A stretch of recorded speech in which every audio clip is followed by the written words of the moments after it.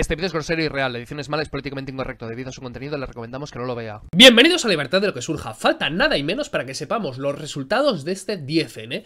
Y ya como es tradición, es decir, lo hice una vez, voy a intentar adivinar los escaños de cada partido. Porque me fue tan bien la última vez, lo hice tan genial, que, bueno, hay que volverlo a intentar, ¿no? Hay que volverlo a hacer porque vi que esto se me daba genial. Pero bueno, vamos a intentar analizar esto a ver qué está pasando y quiero dar así un poco mi opinión de cómo está yendo todas estas elecciones, toda esta campaña electoral y cómo ha transcurrido todo este tiempo entre elecciones que han sido muy pegadas. Ha sido una cosa rapidísima. Hemos pasado una elección a la otra, pero a una velocidad increíble, mucho más rápido que las de 2015-2016. En muy pocos meses ha habido ya una campaña frenética y aburrida en la que ha pasado de todo y nada. ¿Y por qué digo esto? Porque claro, en las elecciones y tal, pues hay unos vídeos que tienen que caer, como el pronóstico, como analizar el spot de Podemos, el de Más País, el de cosas así divertidas, el de partidos progres, el spots extraños que hayan hecho. Y esta vez pues he analizado pocos, pero había que analizar algunos y he tenido como que darme prisa para analizarme unos cuantos y hacer varios vídeos sobre ciertos temas, el programa electoral de Más País y otras cosas de estas que, que me corría prisa. Sin embargo, vosotros no creo que hayáis sentido emoción alguna. O sea, ha sido una campaña bastante aburrida. Eh, oye, tenéis este, este, tiempo, un par de semanas meterlo todo aquí y a la gente le ha dado absolutamente igual. Es que se notan las cifras, la gente ya no quiere ver esto. Se ve más un vídeo que he subido hablando de otras cosas. Ya, ya ni centrándome en las elecciones que los vídeos sobre las elecciones y eso que se supone que esto es algo muy importante y tal, pero vamos, que no veo la gente muy interesada por el tema. Así que imagino que la participación va a bajar un punto, punto y medio, porque la gente sigue como confrontada y tal, pero ya dice, mira, ¿para qué? Sobre todo los del voto por correo. Yo creo que ya, oye, ya me comí el follón la otra vez, yo déjate, no voy a ir más porque me, da mucha pereza, no, no lo voy a hacer más. Así que creo que la participación va a bajar bastante, sobre todo por la parte del voto por correo. ¿Y qué tenemos en estas elecciones? ¿Qué dicen los sondeos? ¿Qué dice la demás gente? Los demás pronósticos, ¿qué están diciendo? Y después diré el mío, a ver qué, a ver qué tal. A ver, una, una quiniela, una porra así, a ver si acierto algo. O me acerco. Pues esto es una media temporal de todas las encuestas que han ido saliendo. Y bueno, vemos el puntito que estaría pues por aquí. Este puntito serían las elecciones. Y vemos, por ejemplo, que PSOE estaría un poquito más bajo que el puntito ese, PP subiría bastante, Ciudadanos se hundiría, Podemos bajaría un poquito y Vox empezaba bajando, pero ha subido. Y luego aparece Más País. O sea, es importante tener en cuenta en la escisión de Podemos, de Íñigo Rejón, que también se llevará votos, claro. Entonces, según esto, PSOE pierde un poco, PP sube, Ciudadanos baja, Podemos pierde un poquito y Vox sube un poquito. O bastante. Está haciendo una tendencia bastante elevada al final, así que ya veremos. Pero bueno, estos pocos días no creo yo que marquen una locura. Y por lo general las encuestas están dando algo así. Que PP sube mucho, Vox se dispara, Vox llega a 49, Ciudadanos se hunde, se quedan 15, o sea, bueno, PSOE o se queda igual o baja un poquito, Podemos baja, y luego por lo demás, más o menos. ¿Y qué dice el CIS a todo esto? El CIS estaría diciendo otra cosa. PSOE subiría incluso hasta 150 escaños. O sea, el CIS se viene arriba, ¿vale? El CIS de Tezanos. Eh, bueno, tiene su opinión que, que va por libre. O sea, todas las demás encuestas dicen una cosa, el CIS dice otra. Podemos... Bueno, ahí, ahí. Baja, se queda igual, sube, pero poco. O sea, no se moja mucho con Podemos. No verá mucho cambio, imagino. Vox baja un poco, bueno, un poco bastante, o sea, incluso podría llegar a 14, o sea, de 24 a 14. Ciudadanos también bajaría y PP pues subiría algo. Pero bueno, aquí da un bastante crecimiento a las izquierdas, o sea que según esto la izquierda oye, y a más país le daría entre 3 y 4. Pero también hay que tener en cuenta lo que pasó en 2015 y 2016, cuando hubo otra repetición de elecciones, también muy seguida, no tanto, pero sí seguida. ¿Qué pasó en estas elecciones? Pues que PP, la primera fuerza, subió y bajó Ciudadanos, y PSOE mmm, bajó un poco, bajó un poco, pero también hay que tener en cuenta que aquí se unió Podemos con Izquierda Unida, se hablaba muchísimo del sorpaso, las encuestas daban como ganador a Podemos y demás.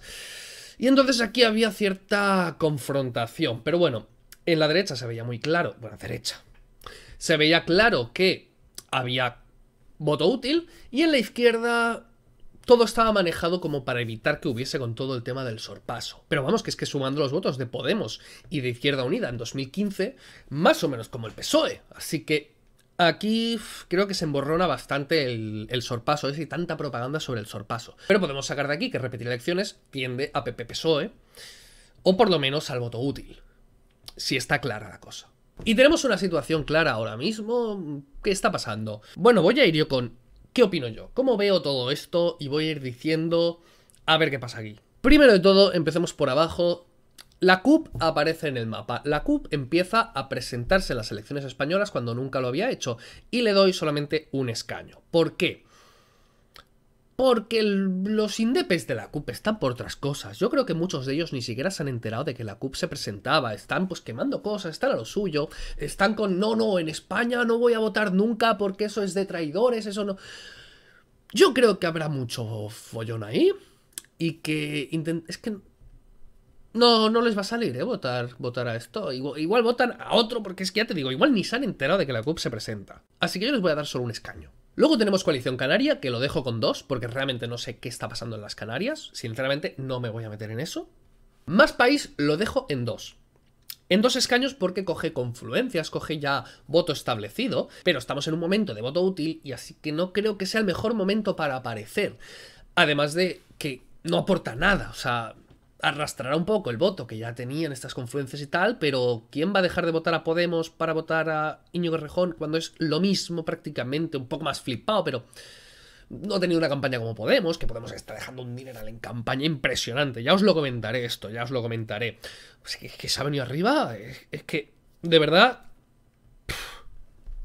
Entonces, no creo que sea el mejor momento, así que le doy así un rinconcito como tuvo Izquierda Unida en su momento, de dos escañitos, y además que en ciertos sitios es difícil que llegue a salir por Leidón y demás, así que dos.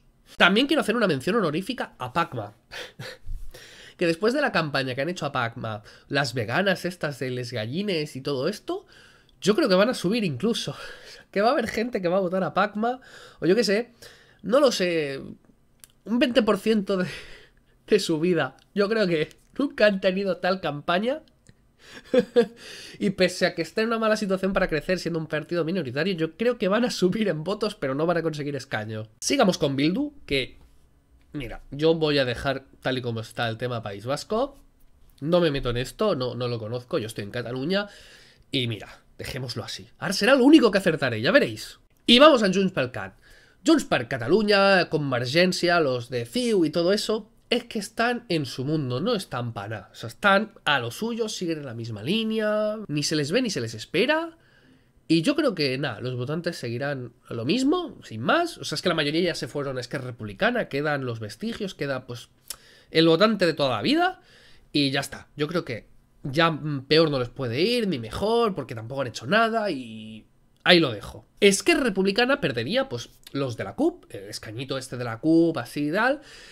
Y yo creo que después de los incendios y todo esto, hay que votar con mucha nariz tapada. Yo espero, yo tengo la esperanza de que haya cierta gente con cabeza en estos partidos y que después de esta actuación y de esta locura, a alguien pues que no le apetezca ser cómplice de esta gente, de todo este movimiento. Y creo que la mayoría de estos votantes van a salir de aquí. Saldrán de todos, pero claro, al ser partido mayoritario. O sea, no culpo es que es republicana, sino que es que es el que tiene más, el que le va a afectar más, creo yo. Así que creo que perdería dos. No tanto como para irse a los unionistas, pero gran parte yo creo que se va a ir a la, abstención. Aunque estos son unos genios del victimizarse y de culpar a España de todo. Así que, no que sé, cómo suba esto. Como, suban después de cómo se han comportado, yo ya no sé nada. Ya, ya no entiendo nada. condenados y aún así, bueno es que da votos, ¿no? Incumplir la ley y que te condenen da votos aquí en Cataluña. No sé, vamos a votar el PP porque tiene condenados por la Gürtel o a PSOE por los ERES o aunque no tenga condenados, pero bueno, ya lo votaremos por eso. Eh, esa mentalidad es extraña. Y aquí llegamos a Vox. Yo creo que van a perder un, escaño. O sea, todas las encuestas dicen que van a ganar mucho, que van a subir a 50, que no sé qué, que van a duplicar.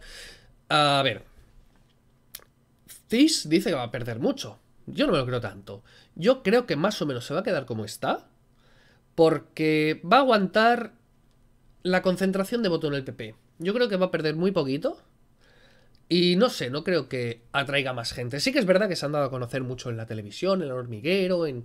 ya han mostrado la cara amable, no simplemente el, pues, esa chorrada que se decía de ellos, de es que... uf". No, se ha mostrado que en realidad no es esa barbaridad que se comentaba de ellos. Sin embargo, no creo yo que convenza mucho más gente. Por el momento, en tan poco tiempo, es que no ha habido prácticamente campaña. Y no creo que la gente ya se vaya desilusionada tan pronto de Vox, porque es que no les ha dado tiempo a nada. Y creo que además lo de Cataluña ha fomentado que se atraiga voto hacia Vox. Así que una cosa compensa a la otra y lo veo más o menos igual. Podemos pierde por dos sitios. Habrá quien se vaya más país y la mayoría se irán a PSOE para hacer voto útil para que no venga pues el trifachito y todas estas cosas.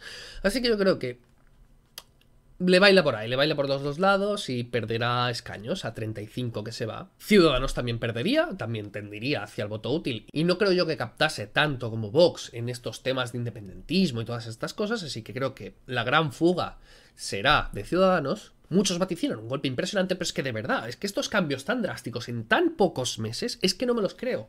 Yo no creo que haya cambiado tantísimo la población en, en nada, en, en una...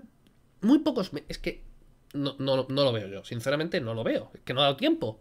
La campaña electoral ha pasado volando. Es que la mayoría de gente ni se ha enterado de que ha habido campaña electoral. Va a votar lo mismo, o, o no va a ir, o le da igual ya. Pepe lo que haría entonces sería juntar estos votos, pocos de Vox y bastantes de Ciudadanos, y subiría hasta 83. Bueno, eso imagino yo, una...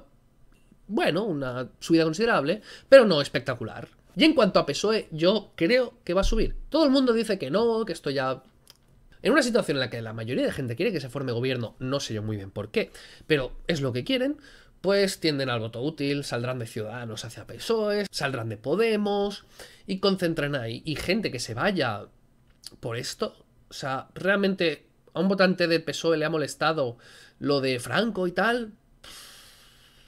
Es que no, no sé, no lo veo yo claro, no creo yo que el votante del PSOE piense estas cosas no, no, se plantea que las cosas así hayan salido mal y todo eso. Muchos dicen que saldrán muchos votantes de aquí, del PSOE y tal, para irse a Vox, para evitar pues lo del Cataluña y que, haya mano firme, cuando no lo creo. O sea, el votante de PSOE pues no quiere independentismo, pero tampoco un nacionalismo exacerbado y no quiere pues Vox. Así que no, no me lo imagino yo esto. Es que se, se están como diciendo unas cosas de estas encuestas que no me acaban de encajar. No, no veo yo al votante pensando en estas cosas. El votante del PSOE. Y sobre todo queriendo ya, mira, o sea, votamos a este ya para que salga algo, para que se forme gobierno. Así que no me imagino muchas locuras. La verdad, va a ser un voto bastante tirando a. Vamos a tranquilizarnos, vamos a calmarnos y vamos a hacer así las cositas.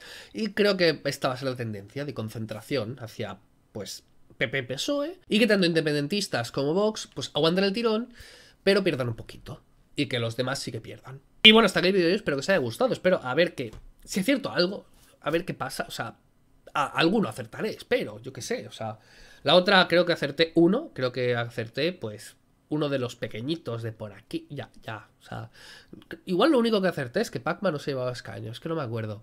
Pero bueno, vamos a ver esta vez, vamos a ver. Y bueno, hasta aquí el vídeo, espero que os haya gustado, espero que os guste, que os comente todas estas cosas, espero que os guste, pues, ver esto a posteriori y ver cómo me he equivocado en todo. y si es así, si quieres que esto siga durante muchísimo tiempo, colabora en Patreon, colabora en PayPal, porque es triste vivir de donaciones, pero más triste es vivir de subvenciones. O si no, dale me gusta, comparte, habla de esto con quien conozcas. Un saludo y nos vemos. Y ahora, por supuesto, pues puedes suscribirte aquí. Aquí te va a salir, aparte de pues la CUP y tal, suscríbete aquí. O si no, ver más vídeos aquí, que los encontrarás entre todos estos partidos están. Este vídeo es humor y parodia. Si le ha ofendido, tome la medicación que le ha dado el psiquiatra. Si le ha gustado, le recomendamos que se suscriba y le dé me gusta.